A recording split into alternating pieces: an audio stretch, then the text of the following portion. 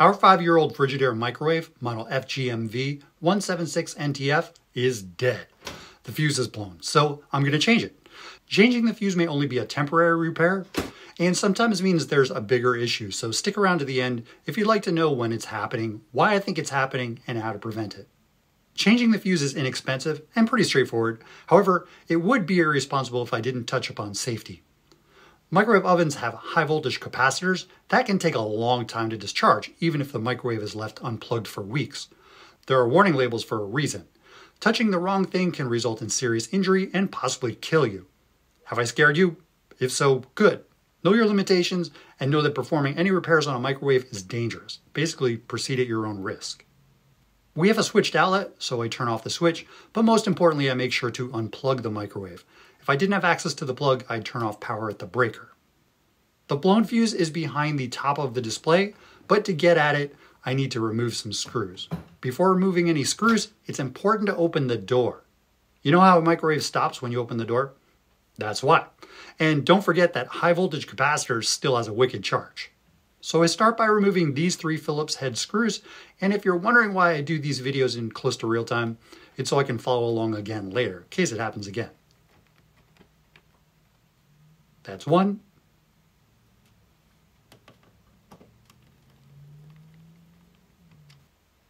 Two.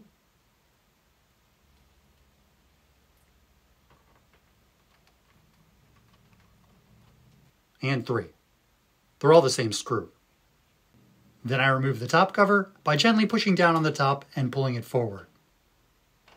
To remove the display cover, I need to remove a screw located above the panel. It's a little hard to get to, so a long Phillips screwdriver is required. To avoid dropping the screw, I need to magnetize the screwdriver, which is as easy as rubbing a magnet on the tip of the screwdriver. Now to remove the screw.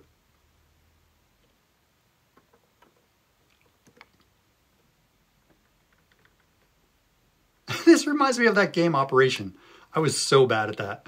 I'd shake and the guy's red nose would light up and ugh, that buzzer. Such a stressful game. kind of like going inside a microwave. The front panel is removed by pushing it up, and it can be a little stiff if it's never been opened, but I changed the fuse a year ago, so it should be easy. I gently lean it forward to avoid stressing any wires, and now to remove the cage. Remove this screw with my other magnetic screwdriver, and the cage comes out.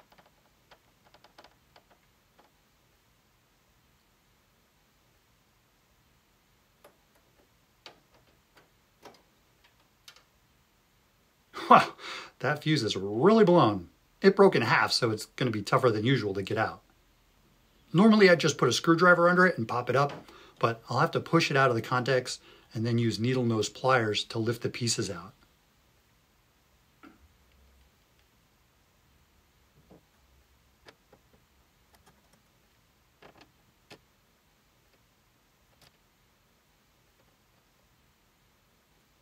Wow, look at that.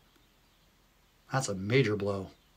These are the new line fuses, which are model 530-450-9451. And the fuse I took out was a genuine Frigidaire OEM part, which was pretty expensive. So I got these on Amazon and they're the same specs. I don't want to leave any glass shards in there, so I'm going to use my little shop vac to clean them up.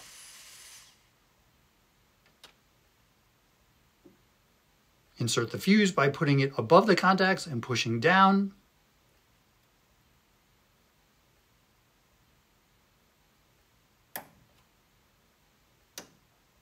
To close everything up. Put the cage back on.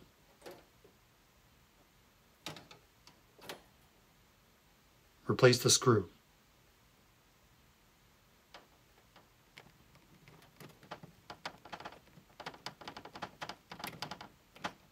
And before I put the display back in, I want to have a look at the door switches and the wires connected to them.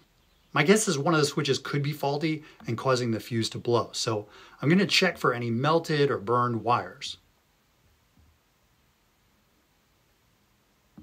I don't see anything or smell anything, so one of the switches is probably a bit temperamental. To reattach the display, the hooks need to go into the frame, so you line up the hooks a little bit high and then apply a little downward pressure. Now to put back that tricky screw.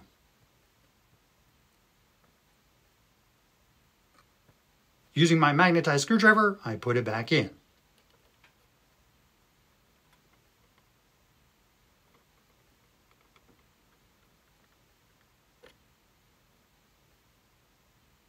And now to adjust the camera. Replace the top cover by putting in the top first and applying gentle pressure to snap it in at the bottom.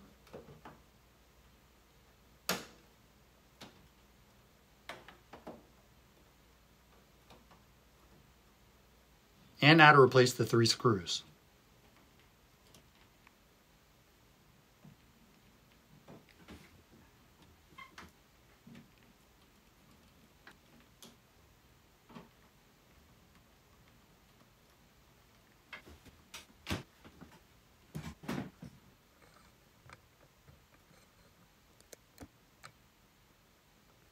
Now to plug it back in and restore power.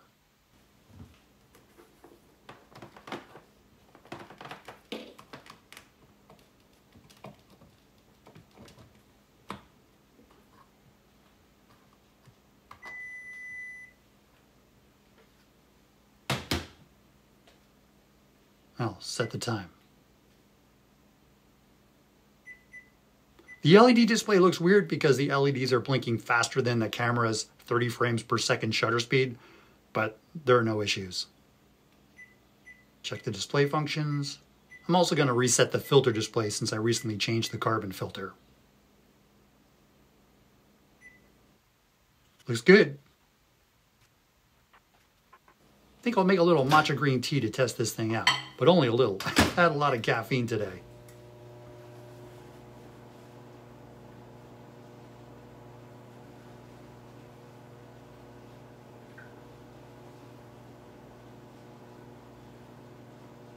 what is that dripping in the background? Maybe I'll fix that dripping faucet in the background next. Looks good. And if you hate the beep of this microwave as much as I do, just turn it off. I wish this thing had a mute button instead of having to wait for the display to scroll to off.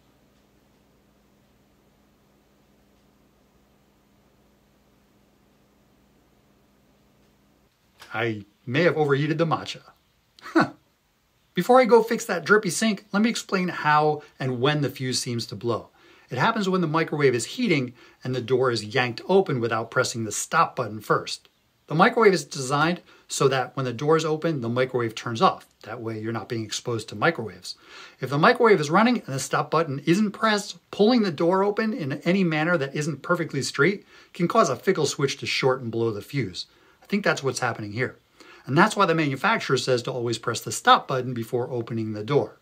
I also recommend that instead of yanking the door open, use your thumb on the display to create opposing force. That way the door opens straight.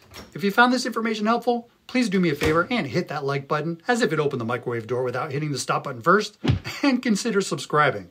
Thanks for watching.